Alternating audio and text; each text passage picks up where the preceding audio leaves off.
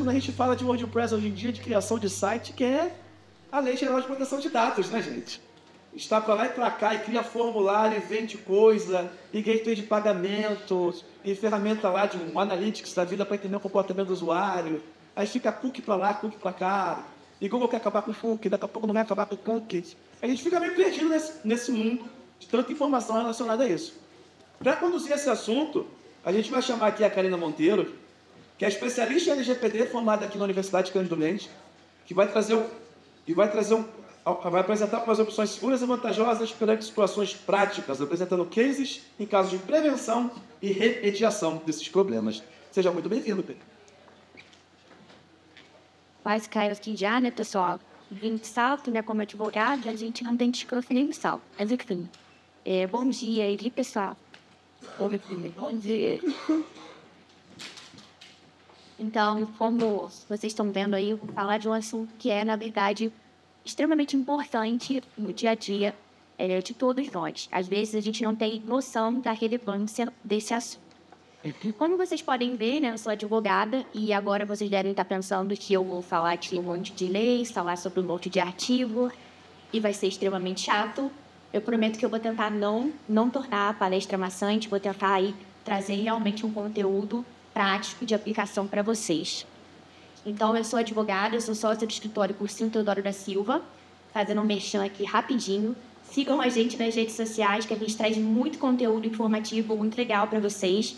No final, a gente vai passar, no final da palestra, eu vou exibir meus contatos. Se vocês quiserem também, o material vai estar disponível e qualquer coisa é só entrar em contato comigo por e-mail. Eu vou estar disponível aqui também para tirar dúvidas.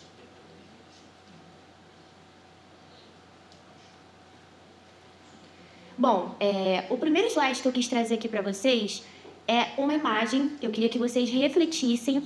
É, vejam se tem algum insight que vocês tiram dessa imagem. Eu não sei se você. Não tem certo e errado aqui, tá, pessoal? É só para realmente vocês analisarem e, se vocês quiserem, fique à vontade para alguém aí chutar o que, que essa imagem aí ela representa na nossa sociedade hoje em dia. Ninguém arrisca? Isso, eu vi aí algumas, alguns chutes certeiros. E é exatamente isso, pessoal. É, a gente está aqui na verdade, a imagem ela é uma metáfora visual, né? Então, representa aí as principais empresas de tecnologia, Amazon, Google, como se fossem plataformas de petróleo e, ao invés do petróleo, na verdade, elas extraem os nossos dados e monetizam esses dados. É, na verdade, uma enorme, enorme possibilidade de lucro, né, para elas. Então, essa imagem é bem interessante por isso. E aí vem a pergunta, né? Por que, que os dados eles se tornaram hoje em dia tão valiosos, né? A gente tem aí, justamente, né, fazendo ali, voltando para a imagem da metáfora do petróleo, é, essa frase que foi do Clive Hamley, que é um matemático londrino, né, especialista em ciência de dados, e virou meio que um jargão, um mantra é, entre a gente, né, profissionais de privacidade, que é o dado é o novo petróleo. Eu, particularmente, não concordo muito com essa frase, porque na verdade eu acho que os dados eles são mais valiosos ainda que o petróleo, porque o petróleo ele é uma matéria-prima finita e os dados não, não tem limite, né? Então, justamente por isso, a gente fala que é, tem aí surgindo né, uma economia de dados. E não é só as empresas fazendo a extração e monetizando esses dados. Num futuro muito próximo, provavelmente a gente vai ter aí plataformas sendo criadas para a gente poder vender, né, por nossa própria vontade, negociar os nossos dados. Então, isso é realmente, se você parar para pensar, muito interessante, porque não só as empresas vão estar ganhando dinheiro, mas a gente também vai poder optar, né, por vender esses dados e ganhar dinheiro com eles. Como eu falei, o né, modelo de negócio baseado em dados já existe, e aí eu trouxe uma outra reflexão. É, quando foi a última vez que você forneceu um dado pessoal seu? Vocês lembram de alguma ocasião que alguém perguntou, que vocês tiveram que fornecer algum dado pessoal? Hoje, uh, Farmácia é um exemplo clássico, né, pessoal? Todo mundo lembra na hora. E aí você vai ali, dá seu CPF, né? A pessoa, às vezes, né, o funcionário da farmácia não sabe também para que serve exatamente. E esse exemplo da farmácia é muito importante porque, na verdade, a farmácia pega o nosso CPF é, basicamente para criar ali um banco de dados, tá? Para vender esses dados baseado no nosso padrão de consumo de remédio. E aí eles conseguem criar, na verdade, um padrão ali de doenças da gente, vende para plano de saúde, o plano de saúde faz a sua precificação em cima daquilo. Então, é, é assim, tem várias hipóteses. Além da, da questão da farmácia, tem também um outro exemplo que é do Wi-Fi, né? O Wi-Fi público, é, que na verdade falam que é grátis. Não é grátis, pessoal. Nada é grátis nessa vida, né?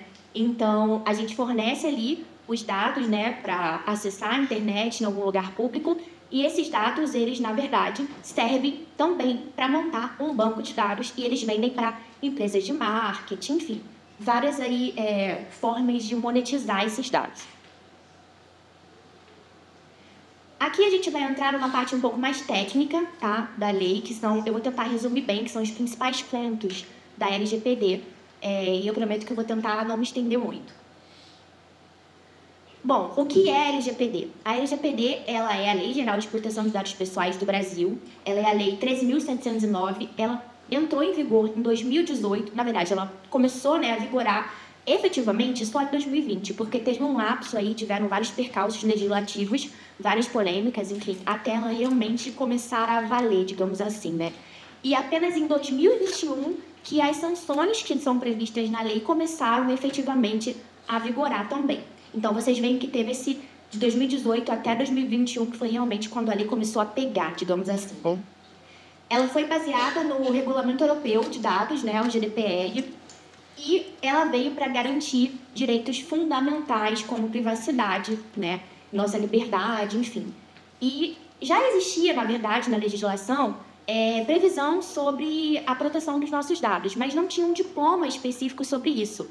E a lei ela veio justamente nesse cenário de a gente precisa ter uma proteção, né? A gente percebeu que, na verdade, esses dados estavam sendo usados de forma massiva, sem nenhum tipo de controle, e muitas empresas não faziam negócios com o Brasil, principalmente da Europa, que tem uma política muito rigorosa com relação à proteção de dados, e o Brasil percebeu que precisava se adequar justamente para ganhar também uma maior confiabilidade do mercado estrangeiro como um todo.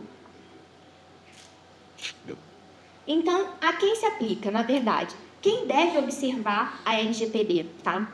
Ela se aplica à pessoa natural, ou seja, pessoa física, e aí tem um parênteses que eu vou falar melhor lá na frente, mas é a pessoa natural, ela só vai ter que observar a LGPD se ela é, se utilizar de, enfim, é, de dados para fins econômicos. Então tem que ter algum tipo de valoração econômica. Se fosse só para fins pessoais mesmo, sem nenhum tipo de monetização, não vai ter que observar a lei.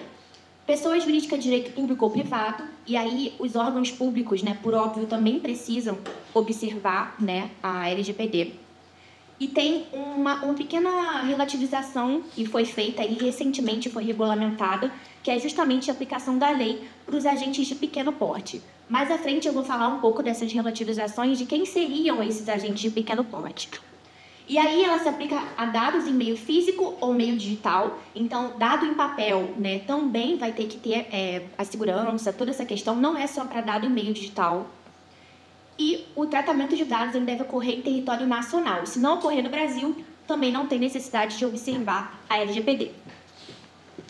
Aqui eu vou falar um pouquinho brevemente dos agentes de pequeno porte, que eu acho que é bem interessante até para o público aqui, porque é, esses agentes, na verdade, eles vão ter alguns tratamentos diferenciados, né? Por óbvio, uma empresa de grande, de grande porte é muito diferente de uma empresa de pequeno porte. Então, realmente a lei se preocupou em fazer essa diferenciação, porque a gente sabe que, a bem da verdade, é um custo para as empresas fazerem todo o processo de adequação em conformidade com a legislação. Pensando nisso, é, veio a resolução aí da NPD, que é a Autoridade Nacional de Proteção de Dados, que é o órgão fiscalizador né, de cumprimento da lei, e lançou essa resolução que é justamente para as microempresas, empresas de pequeno porte, startups e pessoas naturais que realizam tratamento de dados pessoais com fins econômicos. Um exemplo seria justamente advogado, contador, inclusive é, influenciadores digitais, né? Porque os influenciadores, quando eles, por exemplo, são contratados para contratados para fazer uma campanha publicitária, eles têm ali, algumas vezes, que pegar dados dos seus seguidores. E eles vão ser responsabilizados se alguma coisa acontecer com esses dados, né? Então, a lei, ela prevê isso. Uma exceção, na verdade, é que mesmo se for uma empresa de pequeno porte, uma microempresa, não vai é, ser beneficiado com essa relativização se essas empresas fizerem tratamento de dados em grande volume ou se lidarem com dados sensíveis. Por exemplo, clínicas médicas que lidam com dados pessoais sensíveis, e eu vou explicar isso melhor mais à frente. Aqui a gente tem só explicando né, quem seriam efetivamente essas microempresas, empresas de pequeno porte, as startups.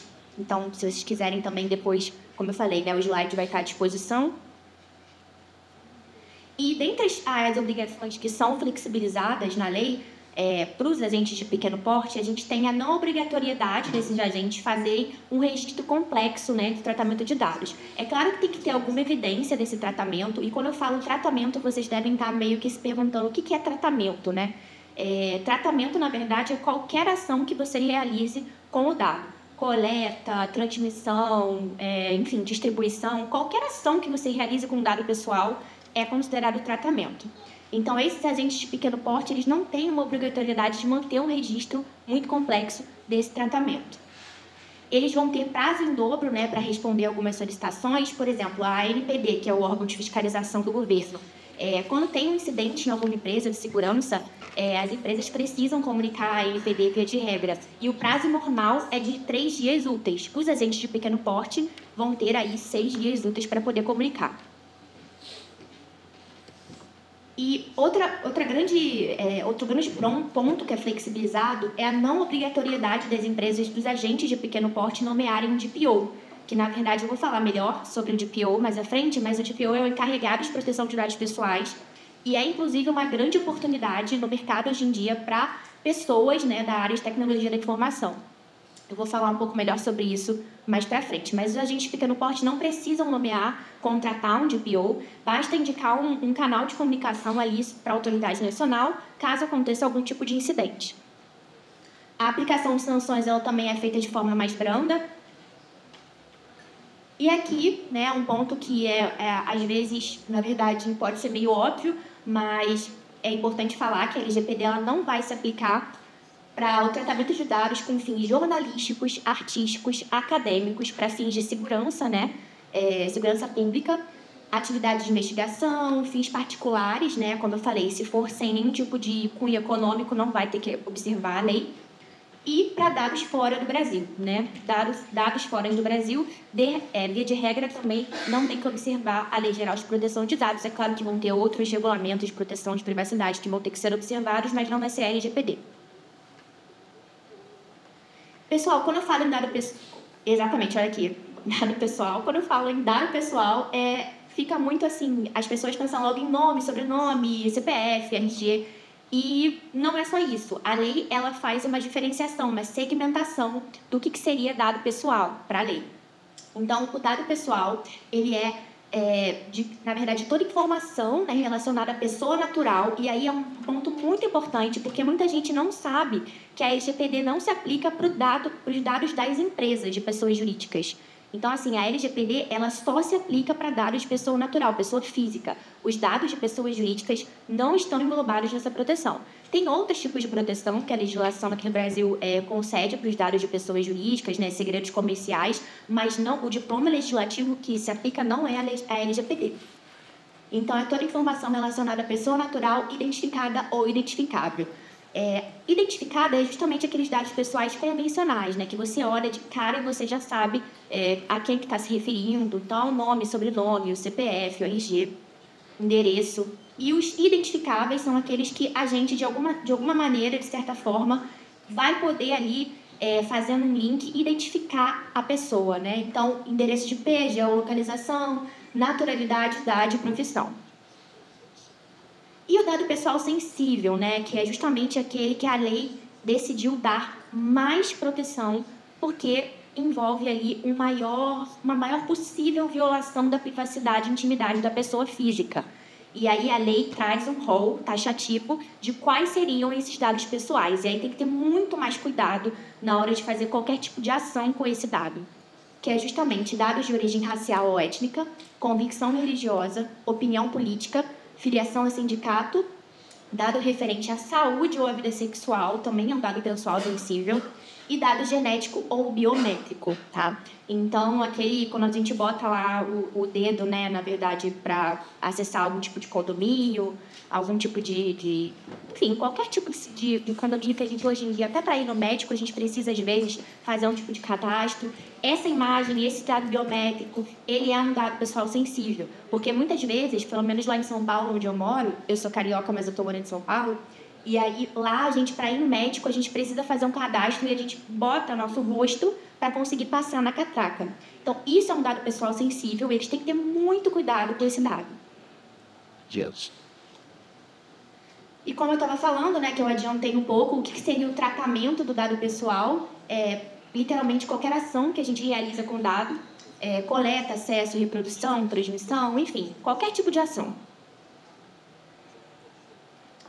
A gente tem um outro conceito na lei que é a anonimização, tá? Anonimização é uma forma, é uma técnica, na verdade, são várias técnicas aí que envolvem é, para realmente você conseguir desvincular aquele dado de qualquer tipo de da possibilidade da pessoa identificar a quem ele se refere. Então, você tem aí que é o dado que passou por um tratamento para que não possa ser vinculado à pessoa física, né, à pessoa natural. E aí, quando a, a, técnica da anonimização ela é aplicada, a LGPD não se aplica, porque você não consegue identificar quem é o titular daquele dado. A gente não pode confundir a anonimização com a pseudo-anonimização. A pseudo-anonimização é uma outra técnica, mas só que nesse caso é possível reverter. Então, é, é assim, por um esforço razoável, você consegue vincular aquele dado à pessoa. Vamos dar um exemplo aqui.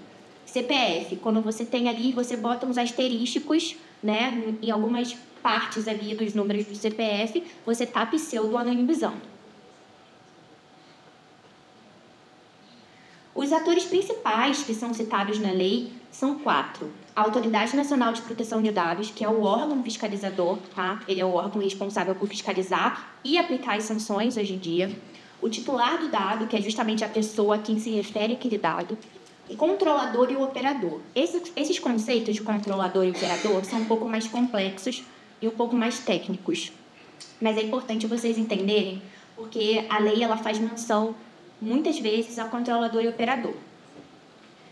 O controlador, na verdade, ele é a pessoa física ou a pessoa jurídica que tem ali a, a, o controle das decisões né, que serão tomadas referentes ao tratamento de dados pessoais. E o operador, pode ser também pessoa física ou jurídica, que realiza o tratamento dos dados em nome do controlador. Para ficar mais claro, esse exemplo até na verdade nem está tão claro assim. Eu vou dar um exemplo assim para fazer vocês entenderem um pouco melhor. Vamos supor que tem uma empresa, né, um, um e-commerce, e aí ele vende ali os produtos e ele, para vender, ele coleta dados pessoais de clientes, de possíveis compradores, de compradores efetivamente. Então, esse e-commerce, ele é o controlador. Ele tem ali o controle, ele coleta, ele usa aqueles dados. E vamos supor que esse e-commerce queira contratar uma outra empresa para fazer uma divulgação, um, um anúncio publicitário. Essa outra empresa que foi contratada pelo, pelo e-commerce vai ser considerada o operador. Por quê?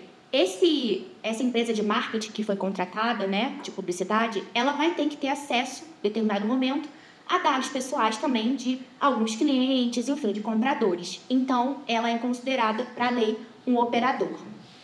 Só ressaltando que ambos, tá, nesse caso, vão ter responsabilidade civil sobre qualquer tipo de incidente que aconteça com os dados. E aí, a gente falando aqui do DPO, né, que é o encarregado de proteção de dados, eu já falei anteriormente brevemente sobre ele, mas eu acho muito interessante trazer aqui um pouco mais. Ele recentemente, inclusive, essa função ela foi regulamentada pela NPD em 2024, esse ano, e a NPD ela regulamentou algumas funções que estavam ali meio é, enfim, não estava muito claro na lei, então teve que ter essa regulamentação. E ele, na verdade, ele é o canal de comunicação da empresa com o mundo exterior, com a NPD. Ele é o responsável por fazer todo o tratamento de dados da empresa, quem vai comandar ali, né? O líder da proteção de dados, digamos assim. E aí essa nomeação ela precisa ser feita, né? Quando você contratar o DPO, ela, ela pode ser feita por um contrato de prestação de serviço ou um aditivo de contrato de trabalho, se a pessoa já trabalhar, né, já for funcionário da empresa. Agora, um dado interessante é que pode ser tanto pessoa física quanto pessoa jurídica e não precisa ser nenhum tipo de funcionário da empresa, pode ser um terceiro. Então, pode ser, a gente chama de DPO as a Service, que é uma empresa terceirizada ou uma pessoa terceirizada que pode ser contratada para exercer essa função. Aí tem algumas das atribui atribuições né, do encarregado de proteção de dados. E eu vou, não vou ler, depois vocês podem até tirar foto, mas é porque daqui a pouco também eu extrapolo meu tempo. Mas o que eu queria trazer para vocês mais importante com relação ao DPO são aí oportunidades para profissionais da empresa, profissionais de tecnologia da informação. Estudos recentes apontam que o mercado ele tem preferido contratar DPOs que são profissionais de segurança, profissionais de TI, do que um advogado, por exemplo. Então, a gente tem aí um percentual interessante. E, gente, é, um, é uma função que o salário inicial hoje em dia é 10 mil reais. Então, assim, é muito interessante. E não precisa, é até um outro ponto que eu vou passar aqui agora, não precisa ter formação específica para exercer esse cargo. É, a gente tem algumas certificações que são exigidas, né, pelo mercado, que são duas certificações que são bem conhecidas da maioria do pessoal de TI, que é a ESINHA e a PP. Não é uma obrigação também, a lei não menciona nada disso, mas as empresas têm exigido essas certificações para contratar o DPO, tá? Então, assim, com essa certificação você consegue estar vários passos à frente e com certeza é, tem uma maior possibilidade de conseguir é, um, um emprego nesse, nessa função, né? E que, como eu falei, né, é bem interessante. Aqui a gente tem alguns requisitos e diretrizes, né, que as empresas elas precisam observar. Aqui é um ponto de muita, é muito importante porque garante que a empresa esteja em conformidade com a legislação. Deixa eu só tomar um mapa aqui.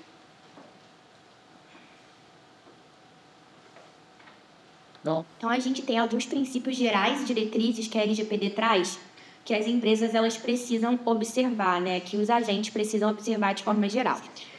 Finalidade, ou seja, você para coletar um dado você precisa ali expor qual é a finalidade, para qual finalidade você está coletando. É, o livre acesso você precisa garantir que as pessoas, né, nós aqui, tenhamos é, livre acesso aos dados que a gente fornece, possamos pedir para excluí-los a qualquer momento. Então, as empresas precisam sim ter um canal de, de, de, comunicação, enfim, disponibilizar essa possibilidade da pessoa física pedir para excluir, pedir uma explicação sobre o dado que está sendo coletado. Necessidade, então, precisa ali, na verdade, as empresas precisam recolher o mínimo de dados possíveis, só realmente aqueles que forem necessários para a finalidade que ela quer ali, né? Vamos supor, quero vender o produto, então eu preciso coletar ali o mínimo de dados possível para poder atingir essa finalidade. Vou tem gente que vai, por exemplo, numa consulta médica e vai preencher aquele formulário lá, né? Você pode seus dados. E, cara, eu já deparei com várias perguntas que não faziam o menor sentido. É, perguntando orientação sexual, perguntando coisas que não precisavam para aquela finalidade, que era justamente eu ser atendida por aquele médico. Adequação, né, que é a compatibilidade do tratamento dos dados com a finalidade informada, a qualidade do dado, Transparência, por óbvio, já é intuitivo, né? Já é autoexplicativo, na verdade. Segurança, precisa ter medidas aí, as empresas precisam adotar medidas de segurança, é, seja por através de softwares, plugins, enfim, vários, vocês entendem melhor disso do que eu, com certeza. Então, isso aí é essencial. Prevenção, não vai esperar um incidente acontecer, né? A gente precisa realmente ter uma, uma preocupação anterior, é, prevenir qualquer tipo de incidente que possa acontecer. Não discriminação, ou seja, não dá para usar os dados de forma discriminatória, é, por óbvio, né? E responsabilização e prestação de contas, ou seja, os agentes de tratamento são responsáveis por aqueles dados que são coletados e precisam sim prestar contas dessa coleta para a Autoridade Nacional de Proteção de Dados, para o titular dos dados, enfim, precisa ter uma política de prestação de contas. Aqui, na verdade, é um resumo do que estava ali naquele quadro, né? Que toda atividade precisa ter uma finalidade previamente informada, a coleta tem que ser mínima, coletar o mínimo de dados possíveis. O agente precisa comprovar que, é, que implementou, né, que está em dia com todas as medidas e diretrizes. E aí, o ponto final, que também é bem interessante, mas é muito técnico, que é uma metodologia que é muito aplicada sobre é, como botar em prática né, diretrizes e esses princípios. É chamada de metodologia Privacy by Design. Essa metodologia é bem anterior à LGPD, é de 2010, e ela já era utilizada lá fora pelas empresas para conseguir estar em conformidade com todas essa questão, essas questões de privacidade de dados, tá? Então, na verdade, ela pode ser definida como a preocupação é, com a privacidade desde a concepção, ou seja, uma empresa quer lançar um produto ou vai lançar um serviço que vai prestar. É, ela precisa estar preocupada desde a concepção daquele produto ou serviço com a privacidade, com a segurança de dados. E esse, essa metodologia ela tem sete princípios que são essenciais aí na, na observância na hora de lançar o seu produto, lançar o seu serviço. E, enfim, se eu fosse falar de cada um deles, eu ia ficar aqui até amanhã, mas eu prometo que eu tenho material muito legal sobre isso. Se vocês quiserem, é só entrar em contato comigo que eu disponibilizo para vocês, porque eu acho muito interessante, porque mostra como aplicar na prática né, as recomendações e as diretrizes que estão lá na lei. Então, eu me comprometo a disponibilizar isso para vocês depois. E aí a gente tem uma parte crucial da lei, que são as bases legais, tá? O que, que a gente quer dizer quando a gente fala em base legal? São justamente as hipóteses que a lei previu que autorizam o tratamento de dados. Ou seja, você só vai poder tratar um dado, fazer qualquer tipo de coisa com esse dado, se tiver é, uma base legal correspondente. São 10 bases legais, tá? E você precisa fazer o link daquela finalidade que você está coletando o dado com uma dessas bases legais.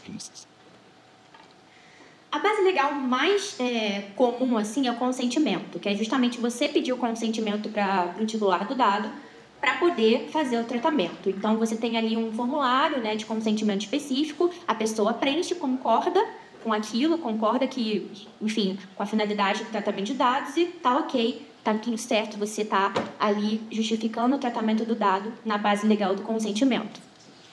Outra base legal é cumprimento de obrigação legal, que é, por exemplo, você enviar informações para a Receita Federal.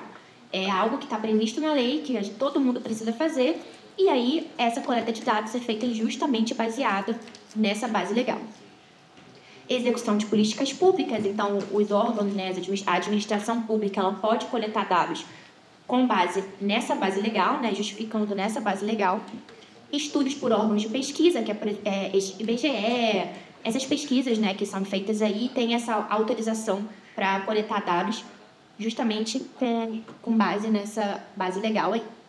Execução de contrato, se você tem um funcionário né, na empresa, você faz o contrato de trabalho e você pode coletar o dado dele. Obviamente, o contrato tem que estar adequado, tem que estar ali com menção LGPD, tem que ter um termo de sigilo e confidencialidade, enfim, vai depender muito da situação, mas essa é a base legal que justifica o tratamento do dado do seu colaborador, por exemplo.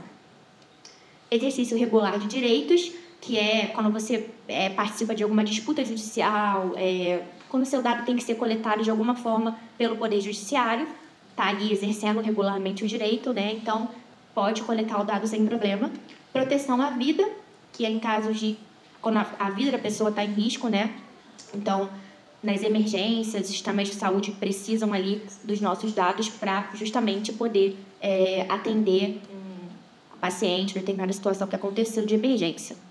Tutela da saúde, que é utilizado muito por clínicas médicas odontológicas, que é necessário né, coletar vários dados pessoais, mas como eu falei, precisa ter um limite, precisa ter uma proporcionalidade naqueles dados que são ali solicitados.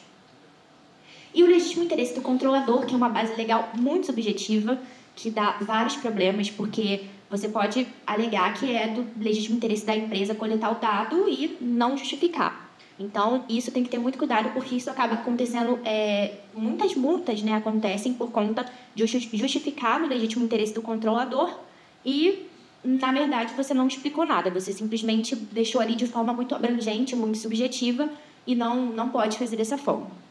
E proteção do crédito, que é o que o Serasa, por exemplo, utiliza para tratar dados, né? Porque ele tem ali a base de dados deles, que é, é justamente fundamentada nessa base legal. A lei autoriza essa coleta. A gente tem outras bases legais para os dados pessoais sensíveis, na verdade, são basicamente as mesmas dos dados pessoais comuns, só que tem uma grande diferença, que é a base legal da prevenção à fraude e à segurança do titular, que é justamente o que eu falei no início sobre coleta de dado biométrico, né? Então, a coleta de dado biométrico ela é permitida em determinadas situações, justamente com essa justificativa de prevenir fraude, etc. Então, se você vai acessar um condomínio, eu sou morador, eu tenho que fazer lá o cadastro da minha biometria para acessar o condomínio e é justamente essa base legal que eles se utilizam para se resguardar.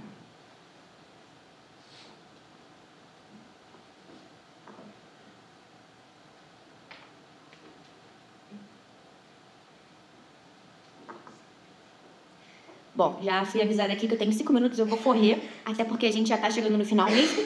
É, a gente tem aqui as sanções que são previstas na lei, tá? Então, a gente tem advertência, é, multas que podem ser de até 2% do faturamento da empresa e, no máximo, pode chegar até 50 bilhões por infração, tá?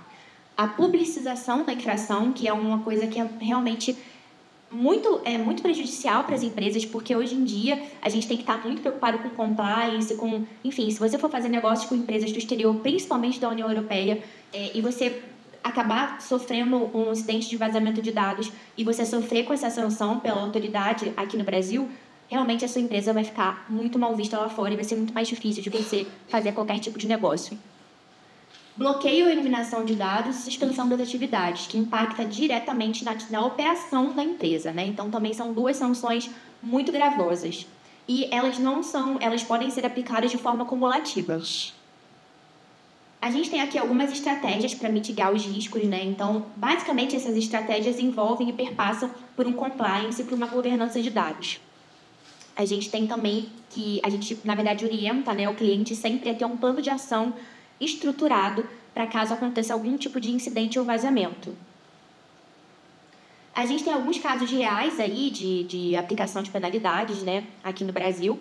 Em 2023, na verdade, foi o primeiro caso onde a NPD ela aplicou efetivamente uma multa, porque o Poder Judiciário vinha aplicando diversas multas, mas a NPD efetivamente não tinha aplicado nenhuma até então. Em 2023 foi esse caso dessa companhia de é, telefônica, né, que ela, na verdade, não comprovou, ela não fez aquele link de base legal para a finalidade do dado que estava sendo tratado e acabou é, levando uma multa, né? De 14 mil reais, na verdade. Tem o caso do Ministério da Saúde, então, se vocês forem pesquisar, tem vários casos envolvendo é, poder público sobre vazamento de dados. Eles fazem direto, né? É um contrassenso, é uma ironia, na verdade, mas tem várias investigações rodando e essa é uma delas. E o caso da Cirela, que na verdade foi aplicada uma multa pelo Poder Judiciário, não pela Autoridade Nacional. Justamente porque um advogado, na época, é, comprou um imóvel e, e, depois que ele comprou esse imóvel, ele começou a ser, assim, nocauteado por mensagens e propagandas, publicidades e outros, é, de outros imóveis, enfim, de imobiliárias, e isso acabou parando no Judiciário e, com base na LGPD, foi também aplicada uma multa para a Cirela. A gente sabe que 10 mil reais para a Cirela não é nada, né? Mas enfim. A gente tem aqui algumas sugestões de ação né, em caso de vazamento de dados, que eu não vou conseguir passar por cada uma delas, mas eu acho realmente muito interessante vocês depois pegarem esse material e tentarem implementar isso na prática né, de vocês. Basicamente, aqui fala sobre a comunicação à Autoridade Nacional de Proteção de Dados, são alguns procedimentos. E, por fim, né, para finalizar aqui, também sugiro que vocês peguem o slide muito por isso, porque a gente, eu tentei trazer, é, na verdade, um material que possa ajudar vocês no dia a dia de como adequar aí o site WordPress à LGPD. Tem aqui várias dicas, né? A principal é perpassa por um mapeamento de dados, identificar os dados que vocês estão coletando, a finalidade do, dos dados que vocês estão coletando e deixar isso muito claro, tá? É, a criação de políticas de privacidade, mas não só a criação, a atualização constante dessas políticas de privacidade termo de consentimento que é, assim, necessário. Cria um formulário, enfim, é, básico ali, só para você ter esse registro, para você ter ali um consentimento expresso do titular do dado. Plugins, né? Plugins de segurança, que obviamente vocês já sabem. Criptografia, atualizações, precisa sempre manter o site atualizado, né? Até acho que o Daniel já comentou isso lá, ele falou sobre a, na palestra dele e o treinamento da equipe. Porque não adianta você ser uma pessoa engajada com a cultura de proteção e com a cultura de privacidade se os seus colaboradores não forem. Então, tem que tentar realmente implementar uma cultura de proteção de dados para todo mundo dentro da empresa. Então a gente tem aí aviso de cookies, controle de consentimento e formulários de contato, como eu falei, né, que são realmente importantíssimos para o titular do dado poder entrar em contato justamente com a gestão e expor qualquer tipo de problema ou, enfim, é, fazer algum tipo de solicitação com relação ao dado dele. Tem que revisar os contatos, né? Por óbvio, até com quem vocês estão se relacionando, porque também é, não adianta nada vocês estarem todos adequados, em conformidade, se o parceiro de vocês não está, se as pessoas que você se relaciona não está. Então, isso é um risco também para a segurança dos dados que vocês estão coletando. Restringir o acesso e criação de registros. Por mais básico que seja, esses registros são importantes de, de, de serem criados para você, eventualmente, se sofrer algum tipo de incidente, poder ter isso em mãos e aí vai minimizar muito o risco de você tomar algum tipo de multa, alguma aplicação de sanção pela Autoridade Nacional de Proteção de Dados.